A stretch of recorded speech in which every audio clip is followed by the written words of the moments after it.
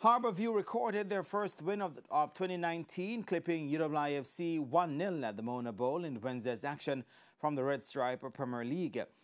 Shamar, Shamar Nairn's first half goal was enough for the Stars of the East. Coach Fabian Taylor was not only happy for the win, but relieved his side did not concede, while UWI's Andrew Perrott ruled missed chances game plan. We, we asked them to sit behind the ball and, and, and, and when we win possession, we, we open up and play. And we did just that. Got a goal early in the, in the, in the first half and, you know, we defended well. Well, at least we're getting more opportunities now. The last time our throughout the most of last year's games, we weren't getting a lot or creating a lot of opportunities.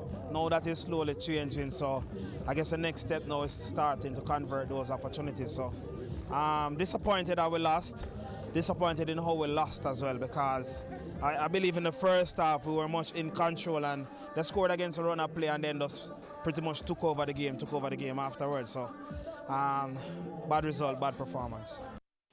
In the days of the early game, Dunbeholden also picked up their first win of the new year with a 3-0 goal spree at the expense of Reno at the Frome Sports Complex. The St. Catherine-based team was led to victory by a brace from Orette Richards. Lorenzo Dubibad scored the other goal for Dunbeholden.